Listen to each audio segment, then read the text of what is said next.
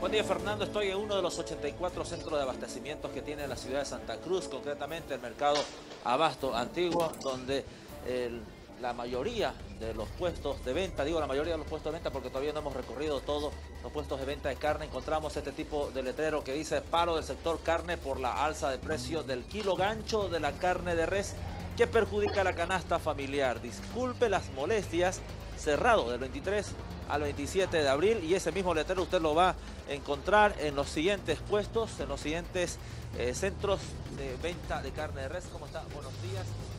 ¿Qué le han indicado los dirigentes? Vemos que está completamente vacío. No van a salir a vender por el motivo de lo que está caro el kilo de gancho de, de carne, por nada más de eso. Hasta el día martes, hasta un nuevo aviso. La gente se acerca, ¿qué le dicen los compradores, las amas de casa? Bueno, que no hay carne. Ayer le hemos advertido que era el último día de venta de carne. Nada más. ¿Cuántos puestos de venta de carne hay aquí en el Abasto? ¿Tiene el dato? No sabría decirle. Muy bien, muchas gracias. Y así se encuentran los puestos de venta de carne al detalle del centro de abastecimiento Abasto Antiguo. Vamos a tratar de conversar con los que venden carne de cerdo. ¿Cómo está? Buenos días, si nos permite entrevistarlo para la red Porevisión. Ustedes están vendiendo carne de cerdo, ¿qué más están vendiendo? Solo cerdo y pollo, chorizo, nada más. ante el cierre de los puestos de la venta de carne de res, vemos en el letrero que dice se suspende la atención en el sector carne por la subida de precio. ¿Qué le dicen los clientes? ¿Qué le dicen las amas de casa? Bueno, que vengan a prepararse con la carne de cerdo porque creo que va a ser un paro largo de carne. No se va a pillar, dice. No sabemos hasta cuándo será esto. Cinco días. Cinco días y a ver si solucionan todavía. En algunos letreros usted va a encontrar el mensaje que dice estamos cuidando su bolsillo en relación al precio eh, del incremento que ha sufrido este, este producto de la canasta familiar muy esencial Vamos a tratar de acercarnos a hablar con las amas de casa. ¿Cómo está? Buenos días, si nos permite consultarle. No habrá atención al público del 23 al 27 de abril, dicen la mayoría de estos puestos de venta. ¿Qué, ¿Qué le deja, qué mensaje le deja o qué sensación le deja? Pues deberían de, si están dando oportunidad de que mejore nuestro país, yo no sé por qué no quieren que se haga exportación. Si dicen que nos van a abastecer a Bolivia, ¿por qué se oponen ellos? No sé. ¿Está de acuerdo con el paro de los carniceros? No estoy de acuerdo. Si estamos en una edad, en una época que no estamos en necesidad, no hay trabajo, nada, deberían de dejar más que progrese un poco nuestro país y no nos dejen así. La misma consulta, señora, buenos días. ¿Qué opina respecto al paro de los carniceros? la verdad que no, no estoy de acuerdo, porque perjudica realmente a bastante a los que cocinamos diario, a de casa, a los que tienen sus pensiones la verdad que perjudica. Mire, al alza de precio nos ha perjudicado, no, no hay, digamos, con qué cocina. Las que tienen su restaurante van a tener que ofrecer otro tipo de plato, otro tipo de comida. Con, con pollo, con chancho, yo creo, porque no hay más, digamos. Joaquín. Las que tendrán ¿Sabe usted que surge la duda, no? Seguramente la gente que está en su casa ahora. ¿Qué se vende? Si no hay carne en este momento, hay un paro de los carniceros, ¿qué otro producto puedo encontrar si no es este?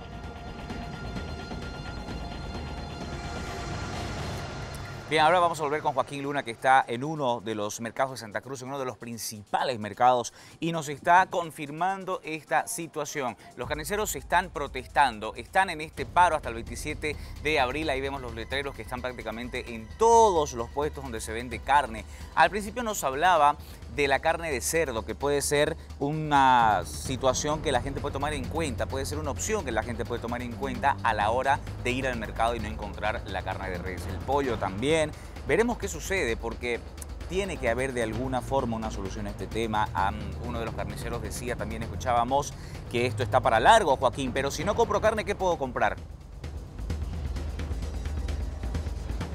Como le decía, carne de cerdo es lo que encontramos en el mercado abasto. ¿Y el precio? de pollo también están comercializando a las amas de casa. Señora, ¿cómo está? Buenos días. Ahora ustedes van a tener que atender a los clientes que compraban carne de res. Sí. Vamos a atender a ver, porque ayer la mayoría se han llevado para hoy día. ¿Entonces aumentaron sus ventas de ustedes? No mucho. ¿Cuánto está el precio del kilo de pollo? A 15.50. ¿Ha subido o no ha subido? Se está manteniendo toda esta semana ese precio. Bueno, eso es lo que podemos encontrar en el mercado de abasto. Carne de pollo, como ustedes ven en estos momentos. Carne de cerdo es lo que se está eh, vendiendo y las amas de casa, los que tienen sus restaurantes o pensión, están comprando este artículo de la canasta familiar de primera necesidad, mientras que dure el paro de los carniceros que empezó hoy y que va a concluir el 4 de mayo. Estimados clientes, el 23 de abril no se atenderá por motivo de alza de precio del kilo gancho, dice otro de los letreros, no a la exportación manifiesta parte de las protestas de este sector carnicero, Fernando. Bien, Joaquín, te agradezco como siempre completo el informe, pero yo quiero retornar al estudio ahora para poder un poco explicarle a usted qué es lo que está sucediendo con esta problemática, por qué están protestando los carniceros, pero qué dicen los productores o en todo caso los ganaderos, qué es lo que ellos han explicado. Ellos desmienten cualquier tipo de alza en el precio y ya identificaron a los supuestos culpables de esta situación. Eh, mañana empezamos con la marcha y las movilizaciones eh, de distintos mercados. Desde agosto del año pasado ha incrementado en 5 bolivianos hasta la fecha de hoy día, en 5 bolivianos el kilo gancho. Ahora ustedes han absorbido toda esta cantidad de dinero todo este tiempo. Durante estos 6 meses a 8 meses estamos absorbiendo nosotros para no subir.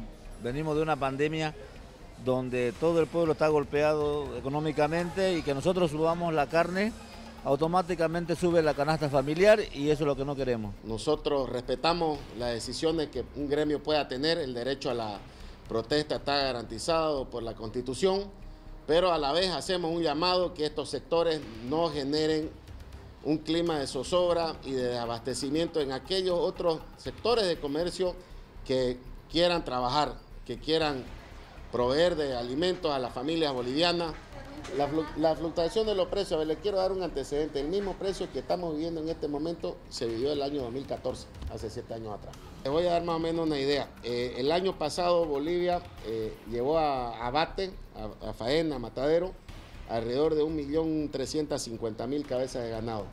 El cálculo que tenemos junto con los frigoríficos de exportación, que alrededor de 130.000 cabezas de, este total fueron destinadas para el tema de exportación. Esto quiere decir un poco menos del 10%. Entonces es falso el argumento de decir que con el 10% va a abastecer, siendo que hay un 90% que abastece el mercado interno. De darse la restricción a las exportaciones de carne, desde la Cámara de Exportadores aseguran de que sería nefasto para el país considerando las conquistas de mercados internacionales, entre estos Rusia y China. Debemos pensar que estas restricciones generan más bien un freno y no así un incentivo al desarrollo de nuestras exportaciones y a seguir conquistando mercados.